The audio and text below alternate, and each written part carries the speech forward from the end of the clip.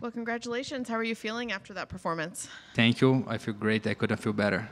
Is that kind of how you pictured the fight going tonight, or, or did you anticipate a different kind of fight with him? No, that's uh, exactly how I saw the fight going. I knew that uh, I had to outsmart him, be quicker, be smart, because uh, I'm better than him everywhere, uh, striking, grappling. He, he's just he's just a very strong guy, and uh, he likes to brawl. So the one thing that I couldn't do was uh, brawl with him. So I, I kept the game plan, and everything went according we planned. There weren't any surprises with anything that he did in there. Uh, the calf kick hurt me a little bit, and he was pretty strong. That's it. So speaking of those kicks, you know, we saw his uh, his leg. When you saw that in the third round, was that just like this is how I'm going to end the fight, or, or what were you think what were you thinking when you noticed that injury?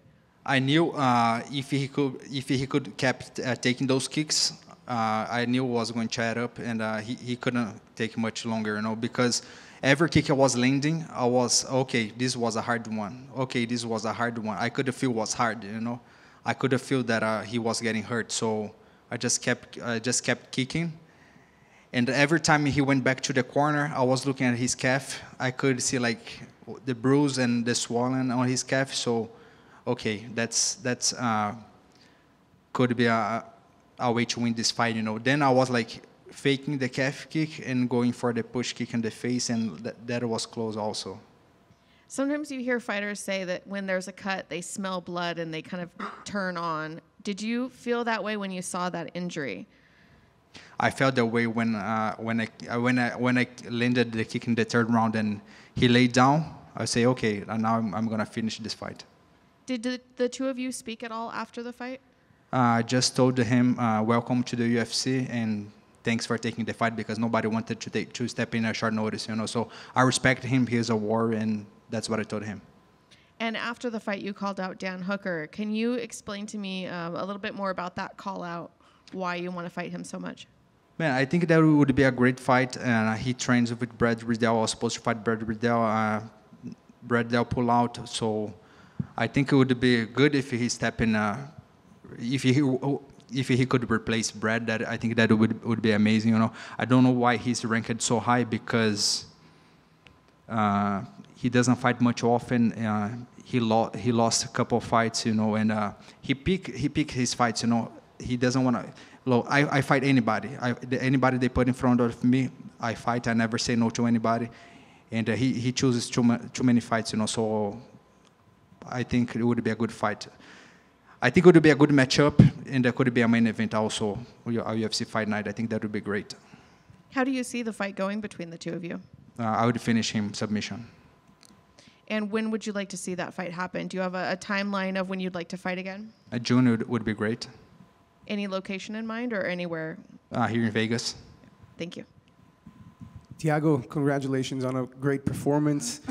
Wanted to ask, we saw your frustration from your placement on the card. If you can tell us a little bit about that and where would you like to see yourself on the next fight?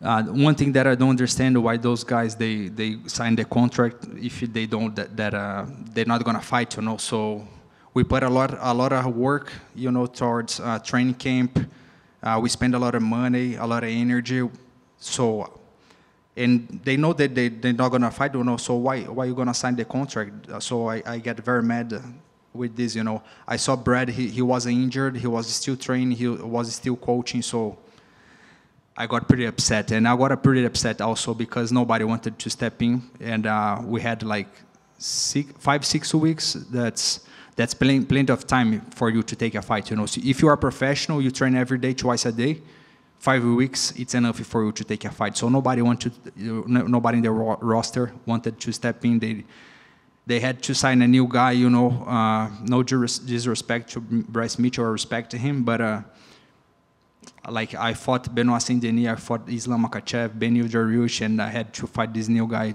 today, you know. So I wasn't too happy about it. And even though he is debuting on the UFC today, how difficult was it for you to, you know, switch game plans to such a different style of opponent in such a short notice? You know, uh, the game plan didn't change too much. You know, uh, my game, game plan with, with Brad would be the same.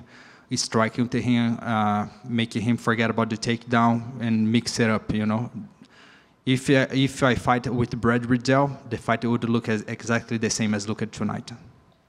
Congratulations. Thank you.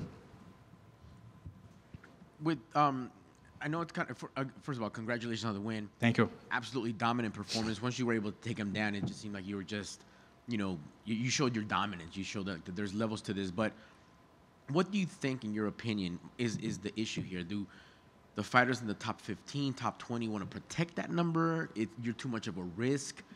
You know, not the reward is there. Uh, you know, the people don't stay active, like you mentioned. What do you think is the problem with guys, you know, not wanting to fight or not wanting to step up?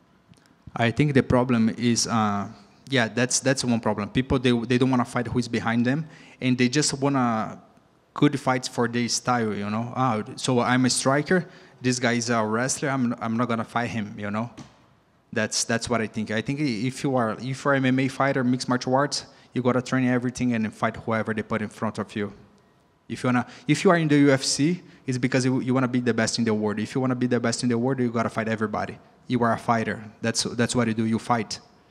Totally agree. And just to co-sign on that fa- uh, that that match, Dan Hooker fighting you would be fantastic.